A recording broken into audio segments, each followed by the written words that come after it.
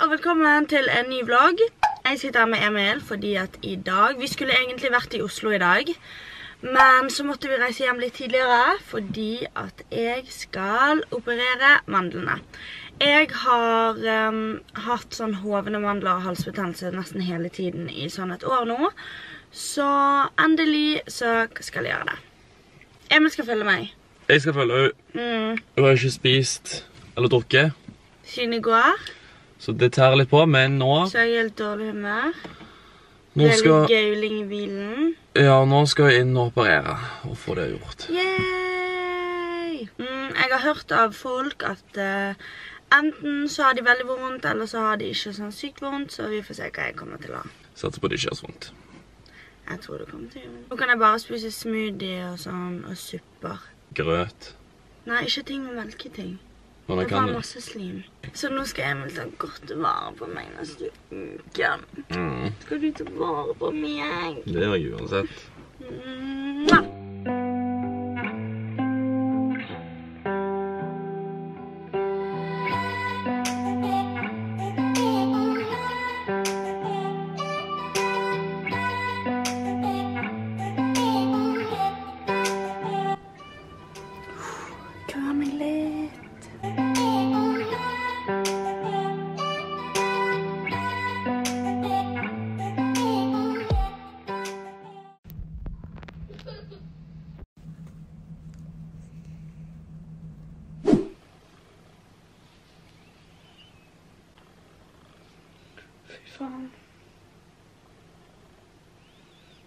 Mye verre enn jeg trodde.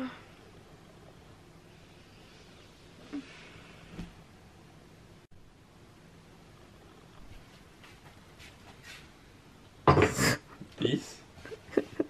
Det er ikke den du skal få den. Denne, den skal du ha.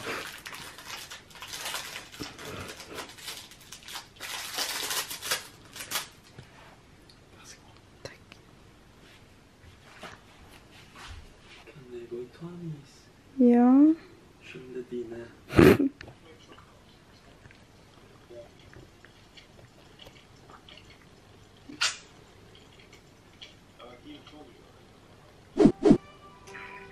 Er det lov å se sånn ut, egentlig?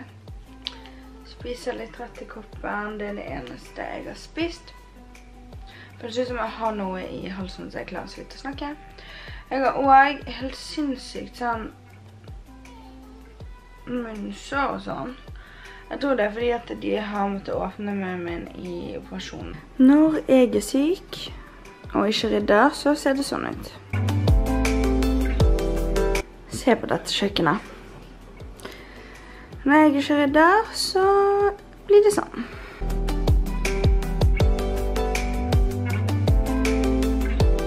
Jeg viste nettopp hvor rotete det var på kjøkkenet Du viste det Ja. Til til vloggen. Fem dager siden jeg opererte. Og jeg ligger fortsatt i sengen. Og jeg ser så trøtt ut. Er det mulig? Jeg trodde ikke det kom til å være sånn som dette. En liten oppdatering. Nå er det seks dager siden jeg opererte, og dette er første gangen jeg faktisk er ute, ute av sengen. Jeg snakker fortsatt litt rart. Det gjør fortsatt veldig vondt i halsen. Altså, jeg føler meg som tidenes suttunge nå, men dette var faktisk noe av det vondeste jeg har gjort. Altså, jeg har spydd, hatt dritvondt, jeg har hatt så mye smertestillende, og ehm, det verste var det var at jeg fikk sånne stikkpiller. Eh, fordi at de er veldig vanskelig å svelge tabletter. Men jeg brukte ikke de så mye da. Jeg prøvde også å gå over til eh, tabletter veldig fort. Men det har vært en eh, tøff uke. Jeg så for meg at jeg skulle um, oppdatere litt hver dag på hvordan det gikk, men det har faktisk ikke gått an. Jeg har hatt så vondt. Jeg har, altså Sist i morges når jeg våknet, så begynte jeg å grine fordi det gjorde så vondt. det høres sikkert helt sykt ut. Spiser fortsatt veldig lite. Dette er det jeg har spist i dag. Jeg klarer egentlig ikke å spise noen ting. Jeg spiser isbiter og saftis. Og så en nudelpakke eller en rett i kroppen-pakke hver dag. Jeg fikk tatt i bruk ringlighten nå, da. Siden det er ganske mørkt ute. Shit, altså. Klokken er halv åtte. Og det er mørkt ute. Og nå er det vinter. Nå er det vinter. Jeg liker ikke vinter. Jo, vet du hva? Der løy jeg. Jeg elsker faktisk vinter. Jeg er en av de som liker vinter bedre enn sommeren. Jeg synes bare det er så koselig å være inne, og så regner det, og... Men jeg tror jeg tar eh, kvelden, holdt jeg på å si. Jeg skal se litt mer på Disney Plus og Love Island USA, selv om jeg ikke synes det er noe bra. Jeg synes UK er det beste. Men, men, jeg føler jeg har rundet alt som går an å se denne uken. Jeg har jo bare ligget i sengen. Men jeg fortsetter å vlogge i morgen. Jenny har ødelagt teppet vårt. Ja. Fikk et raserianfall. Jeg har litt oi, høyt temperament, og der rev jeg av en sånn på teppet. Men i hvert fall. God morgen, jeg har nettopp stått opp, og eh, sminket meg og sånn, og gjort meg klar. Emil har vært på trening. Jeg har, vært, jeg har stått opp, vært på trening, spist mat. Ja. Har vært kjempeproduktiv. Mm. Du så nettopp opp. Ja. Ja. Og snart så skal vi gå og se på en leilighet. Vi vet at Emil nettopp har flyttet inn hit. Eh, og vi hadde egentlig tenkt til å bo her eh, en stund til, men vi har egentlig funnet ut at vi har lyst til å flytte. ja. Vi skal nok flytte. Ja. Så nå er det en eh, leilighet rett borti gata her Mm. som er ute. Og vi skal på visning og se hvordan den er. Og se om den er noe for oss. Mm. Mm Vi har litt lyst på to soverom. Ja. Så den har to soverom, og så har han også en bod. Så vi skal gå og se. Ja. Du hater meg. Nei. Jo. Du er sint på meg. Nei. Jo. Du sa kanskje du går og gamer. det til meg i blod. Nei, det gjør du ikke. Det gjør du ikke. Nei, nå Hvis ikke vet det, så snakker Emil med babystemme til meg. Jeg gjør ikke faen Det gjør du. Nei, det vet jeg ikke hvor du har fra engang. Yo, jeg vet at jeg er den mest maskuline fyren i Du, jeg er jo bing. Um, nå har meg og Emil nettopp vært og sett på en leilighet som vi kanskje skal leie, og den var veldig fin. Um, den var faktisk bare rett borti gaten fra der vi bor, så hvis vi skal flytte, så er jo det veldig greit. Veldig chill. Likte du den? Jeg likte den veldig godt. Mm. Jeg synes den var, den var større, det var bedre plass. Hvis vi bor der, så får Emil større gamerom. Og større gamerom. Og vi får et gjesterom. Det må jeg. Den er litt dyrere, men den virker mye større. Det virker nå i hvert fall verdt pengene. Ja. Da er vi hjemme fra visning. Jeg likte faktisk eh, leiligheten veldig godt. Det eneste jeg ikke likte, det var at um, det ligger i en sånn beliggende sånn at det ikke er så mye Det kommer ingen sol inn i leiligheten, på en måte. Og jeg synes det er så fint med dagslys inne i leiligheter. Sånn som denne leiligheten. Den har store vinduer, og det er masse naturlig lys, og det synes jeg er veldig fint når jeg for eksempel tar bilder eller filmer sånn som nå. Men utenom det så var liksom planløsningen og selve leiligheten synes jeg var bedre enn denne. Det er jo som sagt litt unødvendig å flytte når Emil egentlig nettopp har flyttet inn hit. Men eh, vi kommer til å bo her i noen måneder til i hvert fall, og så får vi se. Jeg er nødt til å ta litt mer smertestillende nå, merker jeg, fordi at det gjør fortsatt veldig vondt. Se på alle smertestillende som ligger der. Sorry hvis denne vloggen ble veldig sånn kjedelig. Jeg har ikke gjort så mye, men jeg har jo som sagt eh, operert mandlene, og jeg har egentlig bare ligget i sengen, sett på Disney+, Plus, spist is, og ikke gjort noe på en hel uke, så...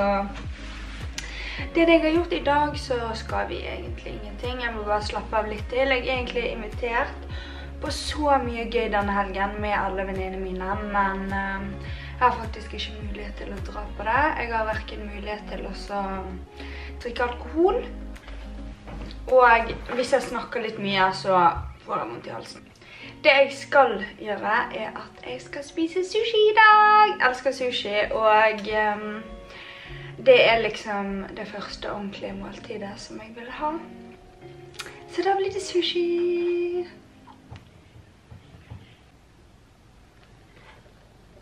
Nå begynner jeg å få vondt i halsen igjen.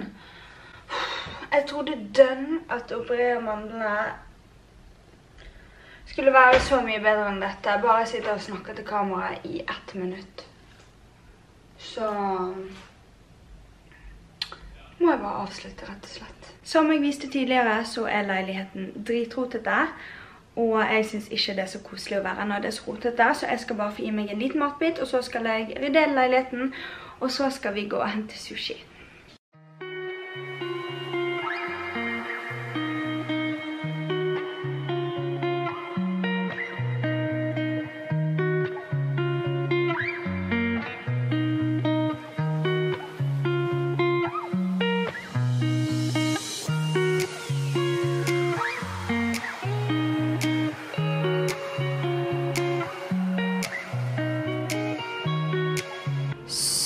Nå ser det i hvert fall litt bedre ut her. Jeg har fortsatt litt igjen, men mye bedre. Se på den ledningen der. Det er Emil sin internettledning. Den går liksom derifra og helt ut dit. Emil holder på å spille inn et samarbeid her. Han har på seg badeshorts. Jeg skulle bare si at du hadde på deg badeshorts. Slutt. Ja. Emil har fortsatt på badeshortsen. Hva er galt med det? I september det er sånn fem grader. Eller. Ja, men du, jeg er bygd annerledes enn alle andre. Jeg er, jeg er ikke et vanlig menneske. Jeg er rett og slett bare bygd annerledes. Hvorfor det?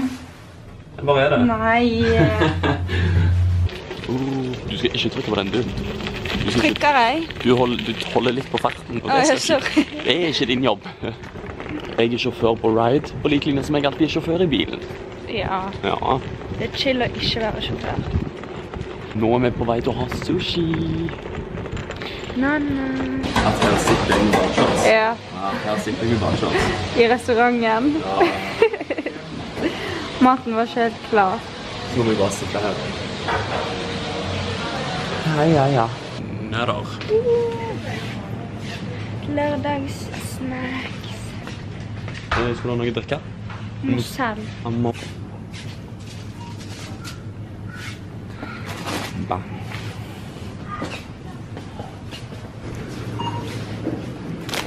Ja. Pops. Choco crunch. Ja. Jeg kjøpte Japp, men jeg ville egentlig ha Twix. Du har liksom vanlige folk som kjøper den melkesjokoladeplata, eller så kjøper de kanskje Smash eller noe hvis de vil ha småbiter. Ja, jeg ville egentlig ha Smash. Og du kommer med ja! Nei. Ro deg ned.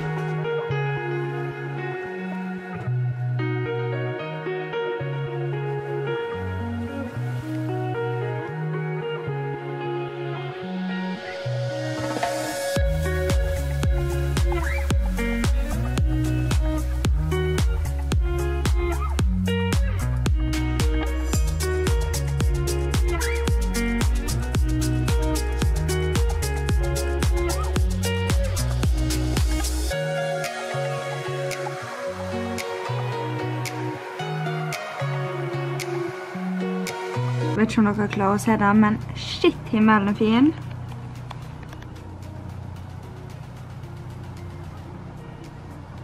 Man ser det mye bedre i virkeligheten, men shit, så fin. Da har vi nettopp spist, og jeg sitter egentlig bare her og ser på TV.